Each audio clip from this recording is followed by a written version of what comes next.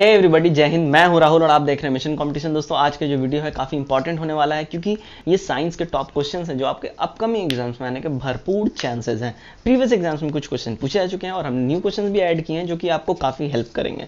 इस वीडियो का अगर आपको पीडीएफ चाहिए तो नीचे दिए गए लिंक्स पे, जो फेसबुक का है इंस्टाग्राम पे आप हम कहीं भी डीएम कर सकते हैं। हम पीडीएफ प्रोवाइड कराएँगे या पीडीएफ का लिंक भी आपको दे सकते हैं।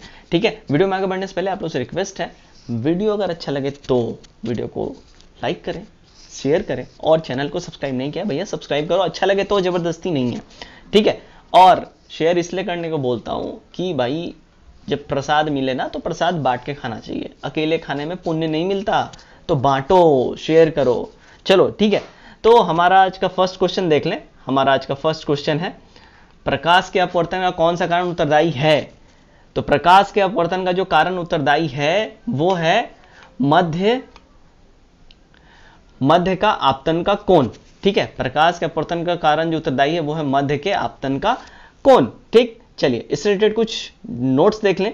अब देखिए यहाँ, जब प्रकाश की किरणें एक पारदर्शी माध्यम से गुजरती हैं, एक पारदर्शी माध्यम यानी कि प्लेन ग्लास लाइक मेरा ये चश्मे का है, जब इससे कोई किरण जब गुजरेगी तो क्योंकि यहाँ पे कुछ भी ऑब्जेक्ट ऐसा नहीं है जिससे वो रिफ्लेक्ट हो सके, ठीक है? बिल्कुल पारदर्शी है तो वो आर पार निकल जाएगी, यहीं पे बोल रहा है, माध्यम से गुजरे, अलग करने वाले तल पर अभिलंब आपाती होने पर बिना मुड़े सीधे निकल जाती है, ठीक है? लेकिन जब तिरछी आपाती होने पर, यानी जब डायरेक्ट नहीं, जब तिरछा रेज पड़ता है, तब वो अपनी मूल दिशा से विचलित हो जाती है रिफ्लेक्ट हो जाती है, इस घटना को प्रकाश का अपवर्तन कहा जाता है। आई होप आप सब समझ गए होंगे। चलिए नेक्स्ट क्वेश्चन की ओर बढ़ते हैं हम। जी, हमारा नेक्स्ट क्वेश्चन है। क्वेश्चन नंबर टू देखिए, आँखों से कौन सी किरणें नहीं देखी जा सकती हैं? आँखों से भाई कौन सी किरणें नहीं देखी जा सकती हैं? तो आँखों से तीनों की तीनों ये किरणें नहीं देखी जा सकती हैं।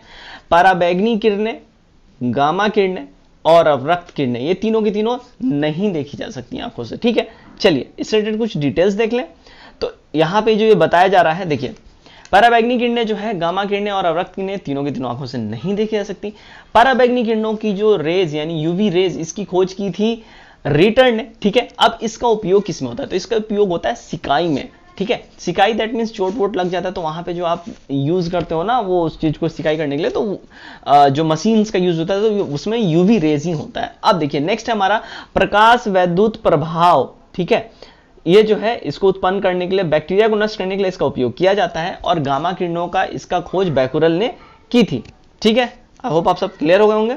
चलिए नेक्स्ट क्वेश्चन की ओर बढ़ते हैं। नेक्स्ट क्वेश्चन हमारा स्नेल स्नेल का नियम किससे संबंधित है?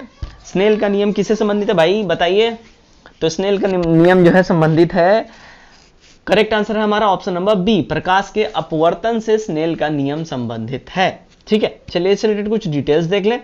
तो यहाँ पे है, स्नेल का नियम प्रकाश के अपवर्तन से संबंधित है और प्रकाश के अपवर्तन को स्नेल का अपवर्तन का नियम भी कहा जाता है। ठीक है, ओके, चलिए नेक्स्ट क्वेश्चन की ओर बढ़ते हैं। हमारा नेक्स्ट क्वेश्चन है क्वेश्चन नंबर फोर श्वेत प्रकाश को विभिन्न रंगों में विभाजित होना क्या कहलाता है? अगर कोई व्हाइट श्वेत प्रकाश यानी सफ़ेद प्रकाश है, श्वेत प्रकाश लाइक आपके घर में एलईडी मर्क्यूरी लाइट्स वगैरह जलती होंगी तो वो जो श्वेत प्रकाश है, जब वो विभाजित होती है अलग अलग रंगों में, उसको क्या कहते हैं? ये हमको बताना है। चलिए भाई, बताइए बताइए, फटाफट बताइए। क्या कहते हैं? तो इसका करेक्ट आंसर है हमारा ऑप्शन नंबर जी डी करेक्ट आंसर है ऑप्शन नंबर डी विक्षेपण, ठीक है? क्या कहते हैं? विक्षेपण। चलिए इस रिलेटेड कुछ डिटेल्स भी देख लें। तो हमारा जो इससे रिलेटेड डिटेल है, यहाँ पे देखिए। श्वेत प्रकाश श्वेत प्रकाश का विभिन्न रंगों में विभाजित होना विक्षेपण कहलाता है। सूर्य का श्वेत प्रकाश प्रिज्म से जब होके गुजरता है तो वह अपवर्तन के बाद, ठीक है? प्रिज्म के आधार की ओर छुकने के साथ साथ विभिन्न रंगों को प्रकट प्रकाश में भी बांट देता है। इस प्रकार से प्राप्त रंगों के समूह को विकर्ण, यानी स्पेक्ट्रम कहते हैं। ठीक है? और, यहाँ पे है, और श्वेत प्रकाश को अपने अव्ययी रंगों को विभक्त होने के लिए क्रिया को वर्णन विक्षेपण भी कहा जाता है। ठीक है? चलिए नेक्स्ट क्वेश्चन की ओर हम बढ़ते हैं। नेक्स्ट क्वेश्चन है हमारा, जी, आवृत्ति की इकाई क्या है? आवृत्ति की इकाई क्या है भाई? तो ये है ऑप्शन नंबर करेक्ट आंसर है हमारा ऑप्शन नंबर सी हर्ड्स आवृत्ति की इकाई क्या है? तो ये है हर्ड्स ठीक है? चलिए, इसका करे इसका कुछ डिटेल्स देख लें. तो आवृत्ति की इकाई जो है हर्ज है और समय की प्रति इकाई मापन और आवृत्ति के एस आई मात्रक के लिए हर्ज यानी H2 का प्रयोग किया जाता है. जर्मन भौतिकी शास्त्री हेनरी हर्ज के नाम पर ही इस इक्विपमेंट का नाम पड़ा है. हर्ज ठीक है? इसकी संज्ञा मतलब इसको हर्ज कहा जाता है और एक हर्ज का मतलब होता है वह घटना जो पर सेकेंड में एक बार होती है, उसको एक हर्ज कहा जाता है। ठीक है? पहले इस इकाई को साइकिल प्रति सेकेंड यानी सीपीएस के नाम से जाना जाता था। ठीक है? आई होप आप सबको ये डिटेल पसंद आया हो। चलिए नेक्स्ट क्वेश्चन की ओर बढ़ते हैं। नेक्स्ट क्वेश्चन है क्वेश्चन नंबर सिक्स परा, पराध्वनिक चाल मापने की इकाई क्या है? पराध्वनिक चाल मापने की इकाई क्या है? हमारा करेक्ट आंसर है option number C Mach okay तो पराध्वनिक इकाई मापने की जो, पराध्वनिक चाल मापने की जो इकाई है, उसको हम क्या बोलते हैं? तो उसको बोलते हैं मैक ठीक है? अब यहाँ देखिए, पराध्वनिक चाल मापने की इकाई को मैक कहा जाता है। 19वीं शताब्दी के महान भौतिक शास्त्र इनर्स्ट मैक ठीक है? इनर्स्ट मैक इन्होंने ही गैस गतिकीय सिद्धांत का अध्ययन किया था और इसके सम्मानत, ठीक है? इसके सम्मानथी समनार्थ आई एम सॉरी इसके समनार्थ पराध्वनिक गति मैक संख्या की भी खोज इन्होंने की थी। ठीक है? चलिए नेक्स्ट क्वेश्चन की ओर बढ़ते हैं। नेक्स्ट क्वेश्चन हमारा हमारा नेक्स्ट क्वेश्चन है क्वेश्चन नंबर सेवन हॉल में ध्वनि की प्रतिध्वनि निरंतर उन्होंने क्या कारण है? यानी कि हॉल में अगर आप कुछ बोलते हो तो वो इको होता है, गूंजता है। इसका क्या रीजन है? क्या कारण है? तो इसका करेक्ट आंसर है हमारा ऑप्शन नंबर ए पराध्वनि ठीक है? पराध्वनि की वजह से ये हॉल में ध्वनि की प्रतिध्वनि निरंतर होते रहती है कंटिन्यूसली ये इको होता रहता है ठीक है? चलिए इसका हम डिटेल्स भी देख लें। चलिए तो यहाँ पे जो है हॉल में ध्वनि की प्रतिध्वनि ध्वनि निरंतर होने का कारण ये है पराध्वनि इसका कारण है ध्वनि का परिवर्तन भी प्रकाश के परिवर्तन के आ, नियम के अनुसार होता है लेकिन ध्वनि का तरंग धैर्य जो है अधिक होने के कारण इसका परिवर्तन परावर्तन यानी रिफ्लेक्शन बहुत बड़े पैमाने पे होता है। ठीक है? इसलिए ध्वनि का परिवर्तन दीवारों, पहाड़ों, पृथ्वी तल सभी में हो जाता है। जो ध्वनि किसी दृढ़ दीवार यानी गहरे कुएँ, ठीक है? कोई ठोस दीवार या गहरे कुएँ से अगर ये ध्वनि अगर निकलती है, गुजरती है, टकराती है, उसके बाद ये हमें वापस रिटर्न आके सुनाई देती है और यही इको होता है। उसे प्रतिध्वनि कहते हैं, ठीक है? स्पष्ट प्रतिध्वनि सुनने के लिए ध्वनि के स्रोत, यानी ध्वनि जहाँ से आ रहा है तथा ध्वनि जहाँ से रिफ्लेक्ट हो रहा है, उस दोनों के बीच की जो न्यूनतम दूरी है दूरी है वो 17.2 मीटर होनी चाहिए या इससे भी कम होनी चाहिए। क्लियर चलिए नेक्स्ट क्वेश्चन की ओर बढ़ते हैं। नेक्स्ट क्वेश्चन हमारा क्वेश्चन नंबर एट, ध्वनि की चाल सर्वाधिक किसमें होती है? सबसे अधिक ध्वनि की चाल किसमें होती है? तो सबसे अधिक जो ध्वनि की चाल होती है, वो होती है हमारा वायु की अपेक्षा लोहे में। तो हवा में नहीं, ये लोहा में या कठोर किसी वस्तु में इसकी चाल बहुत ज़्यादा होती है। ठीक है? चलिए इस रिलेटेड कुछ डिटेल देख लें।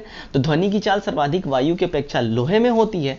ध्वनि की तीव्रता ठोस वस्तु में सबसे ज़्यादा होती है। इसका मुख्य रीजन ये है कि ठोस में अणु, द्रव और गैस, ठीक है?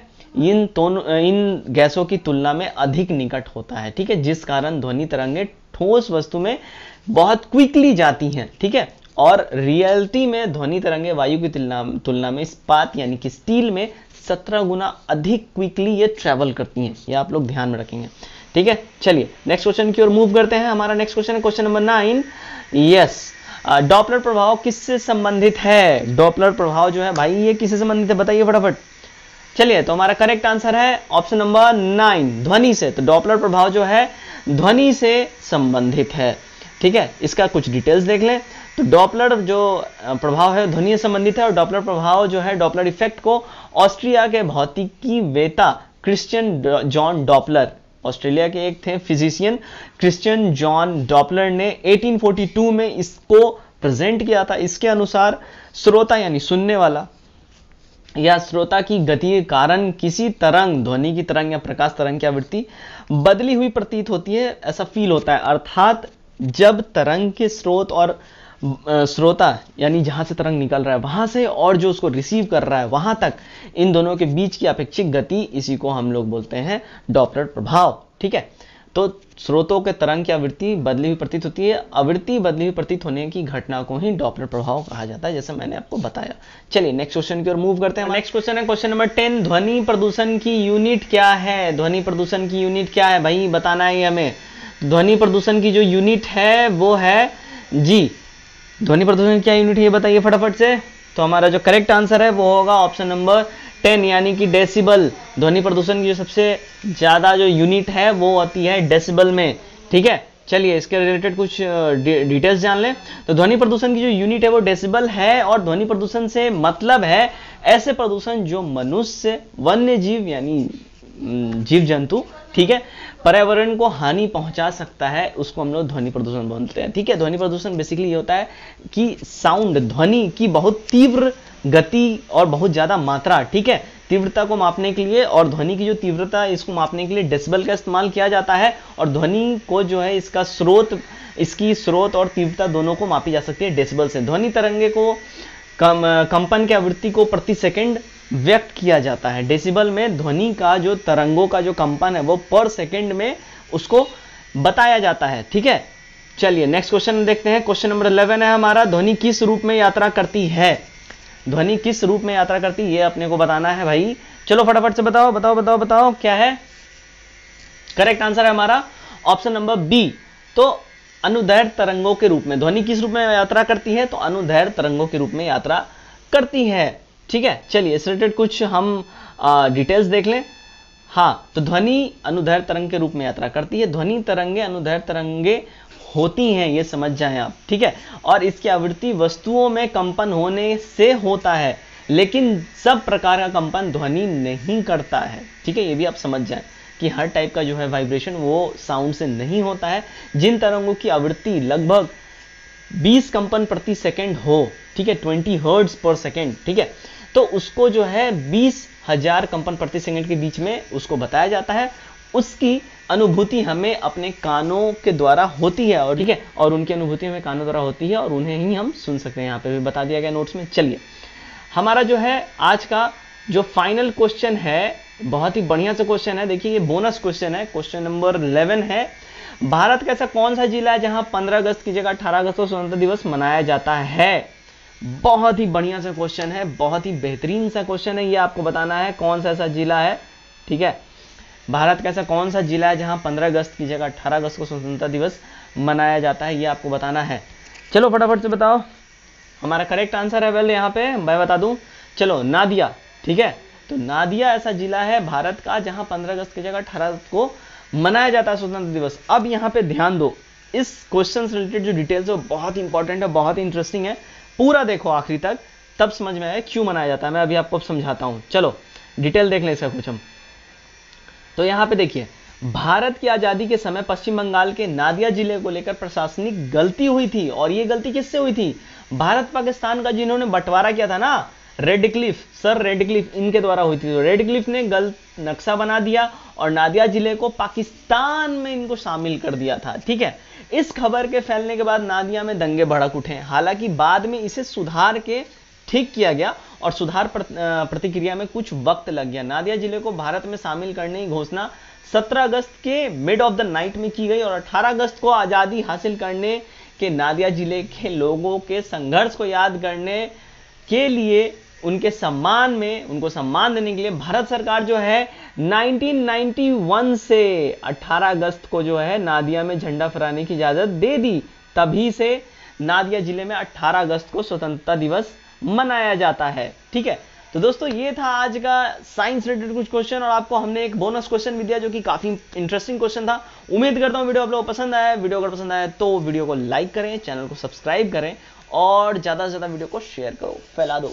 फटाफट फैला दो फैला दो। ठीक है? चलिए take care bye and God bless you all